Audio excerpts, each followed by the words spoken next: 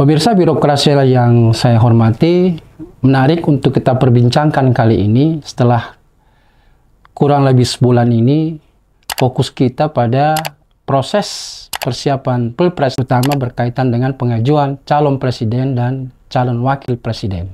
Hiruk pikuk ini menjadi sangat kencang diperbincangkan di bangsa ini karena setelah MK itu memutuskan bahwa calon presiden dan wakil presiden boleh tidak berusia minimal 40 tahun asal sedang atau pernah menjabat kepala daerah.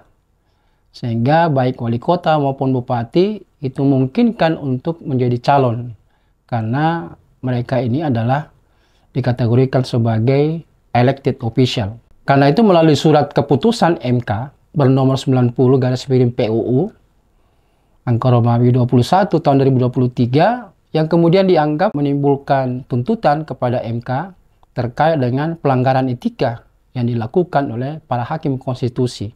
Dan ini kemudian dibentuknya MKMK. Kemudian berujung adanya persidangan berkaitan dengan dugaan pelanggaran etika di Mahkamah Konstitusi untuk memutuskan perkara yang kemudian berujung pada Keputusan MK nomor 90 garis miring PUU angka nomor 21 di tahun 2023. Pembentukan MK-MK ini kemudian melahirkan sebuah keputusan bernomor 2 MK-MK garis miring L garis miring 11 2023 dengan jelas menyatakan ada pelanggaran kode etik para hakim konstitusi secara kolektif dan khusus kepada ketua MK dinyatakan melakukan pelanggaran berat sehingga diberhentikan selaku ketua MK dan tidak lagi diperkenankan untuk terlibat dalam setiap sengketa pilpres, pileg maupun pilkada.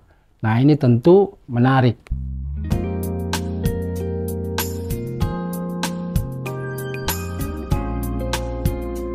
Perbincangan ini menarik karena pelanggaran ini dipandang uh, mengukuhkan adanya yang kita kenal dengan istilah politik dinasti. Nah, di dalam konsep tentang uh, politik dinasti dan ada juga disebut dengan dinasti politik. Ini dua hal yang berbeda. Politik dinasti itu dan dinasti politik dua istilah yang sering digunakan untuk menggambarkan situasi di mana kekuasaan politik itu dipegang oleh keluarga atau kelompok tertentu secara turun-temurun namun terdapat perbedaan penting antara kedua istilah tersebut. Politik dinasti mengacu pada situasi di mana kekuasaan politik dipegang oleh keluarga atau kelompok tertentu secara turun-temurun. Biasanya ini didasarkan pada garis keturunan atau hubungan darah. Politik dinasti ini sering kali dikaitkan dengan sistem monarki, di mana kekuasaan politik dipegang oleh seorang raja atau ratu. Namun, uh, politik dinasti juga ini bisa terjadi di negara-negara dengan sistem pemerintahan lain, seperti negara yang berbentuk republik seperti Indonesia ini. Jadi sudah bergeser pemaknaannya, tidak harus oleh sebuah uh, monarki, tetapi juga melalui pemerintahan yang berbentuk republik. Sedangkan dinasti politik ini mengacu pada situasi di mana kekuasaan politik dipegang oleh keluarga atau kelompok tertentu secara turun-temurun, tetapi tidak berdasarkan pada garis keturunan atau hubungan darah. Dinasti politik sering kali dikaitkan dengan korupsi dan nepotisme, di mana anggota keluarga atau kelompok tertentu diberikan posisi kekuasaan karena hubungan mereka bukan karena kemampuan atau kualifikasi si pemimpin tersebut. Agar supaya pemandangan kita bisa sama, maka uh, langkah objektifnya kalau kita mengacu pada pandangan beberapa ahli yang terakui secara uh, ahli internasional. Di antaranya adalah Robert Dahl. Beliau mengatakan bahwa politik dinasti itu merupakan bentuk pemerintahan yang paling tidak demokratis. Dahl berpendapat bahwa politik dinasti melangkahi atau melanggar prinsip-prinsip demokrasi, yaitu kedaulatan rakyat. Di dalam politik dinasti, rakyat tidak memiliki suara di dalam menentukan siapa yang akan memerintah mereka atau yang akan diajukan dalam uh, pilpres. Nah ini yang banyak diperbincangkan orang karena adanya peluang diberikan oleh keputusan MK nomor 90 tersebut yang memang menurut para ahli dan menurut hasil putusan MK itu adanya intervensi pihak luar dan mempengaruhi ketua MK sehingga ketua MK kemudian diberhentikan selaku ketua MK. Jadi dengan demikian uh, definisi yang dikemukakan oleh Robert Daly ini memiliki uh, kemiripan dengan apa yang terjadi akhir-akhir ini di Indonesia. Ahli lain adalah Samuel Huntington ya, yang berpendapat bahwa dinasti politik dapat menjadi ancaman bagi stabilitas politik. Huntington berpendapat bahwa dinasti politik itu bisa menyebabkan konflik internal antar sesama komponen bangsa. Karena anggota keluarga atau kelompok tertentu ini ya bersaing dengan uh, pihak-pihak uh, lain untuk mendapatkan kekuasaan yang tentu tidak mendapatkan privilege ya, dari penguasa. Terakhir adalah uh, Francis Fukuyama juga ahli yang terkenal yang berpandangan bahwa dinasti politik itu dapat menghambat pembangunan ekonomi. Nah, ini tentu impact yang kita lihat. Fukuyama berpendapat bahwa dinasti politik itu cenderung berfokus pada kepentingan keluarga atau kelompok tertentu daripada kepentingan masyarakat. Nah, ini yang kita khawatirkan jika ini terjadi. Nah, karena fokus kita ini berkaitan dengan uh, bagaimana masa depan pemerintahan. Maka dalam konteks ini kita menyoroti dengan situasi yang terjadi ini akan lahirnya seorang pemimpin yang disebut dengan pemimpin karbitan. Supaya saya objektif, maka saya mengutip sebuah buku yang berjudul Sebuah Tantangan Bagi Masa Depan Indonesia yang diterbitkan pada tahun 2009 oleh penerbit Salemba Umanika ya. Di dalam buku tersebut seorang ahli namanya Mak Hasin tahun 2009 itu menyebut ya bahwa pemimpin karbitan itu adalah pemimpin yang belum memiliki pengalaman dan kompetensi yang memadai untuk memimpin suatu organisasi, institusi, atau mungkin juga sebuah bangsa. Pemimpin karbitan ini biasanya diangkat atau terpilih karena faktor nepotisme maupun kolusi. Nah, pemimpin karbitan ini biasanya tidak memiliki visi dan misi yang jelas, serta tidak memiliki kemampuan untuk memimpin, terutama memimpin sebuah bangsa dan negara. Tentu kita tidak inginkan sebagai sebuah bangsa untuk disodorkan pemimpin karbitan, karena ini akan menimbulkan masalah di kemudian hari kegagalan di dalam mencapai tujuan organisasi itu atau institusi atau bangsa membayangi pemimpin karbitan tersebut.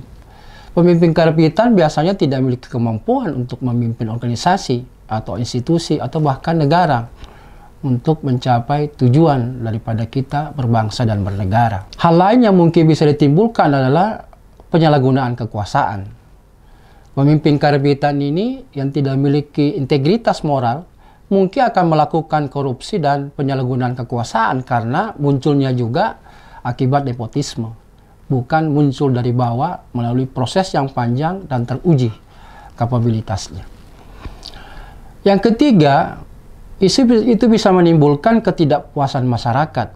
Karena pemimpin karbitan ini yang tidak mampu memimpin bangsa ini secara efektif itu bisa menimbulkan ketidakpuasan dari masyarakat tentu ini tidak bagus di dalam menjaga stabilitas pembangunan. Penting untuk ketahui apa itu ciri pemimpin yang disebut karbitan. Yang pertama yaitu memiliki pengalaman dan kompetensi yang masih kurang. Pemimpin karbitan ini biasanya belum memiliki pengalaman yang cukup untuk memimpin suatu pemerintahan. Juga mungkin tidak memiliki kompetensi yang dibutuhkan yang cukup untuk posisi yang ditempatinya, apalagi bagi sebuah bangsa yang besar seperti Indonesia ini. Kedua, tidak memiliki visi dan misi yang jelas. Nah, pemimpin karbitan ini, seperti yang kita sebut, itu biasanya tidak mempersiapkan diri untuk memiliki visi dan misi yang jelas untuk membawa bangsa ini lebih maju karena yang dia kejar adalah bagaimana posisi itu dia peroleh. Apalagi dia ditempatkan oleh kekuasaan tertinggi. Mereka ya mungkin hanya fokus pada kepentingan pribadi atau kelompok yang mengusung mereka. Yang ketiga tidak memiliki kemampuan ya untuk memimpin. Pemimpin karbitan ini biasanya uh, tidak memiliki kemampuan untuk memimpin suatu bangsa atau institusi. Mereka yang mungkin tidak memiliki kemampuan untuk berkomunikasi, ya, mengambil keputusan yang tepat untuk bangsa ini, atau mengelola sumber daya yang sangat melimpah, terutama seperti di Indonesia yang sangat kaya raya ini. Pertanyaan kita, kenapa ada pemimpin karbitan ini muncul di tengah-tengah kita lagi membutuhkan sosok pemimpin yang qualified? Nah, itu karena nepotisme. Nah, nepotisme ini merupakan praktek ya, yang memberikan keuntungan kepada eh, kerabat atau teman dekat tanpa memandang kualifikasi atau kompetensi.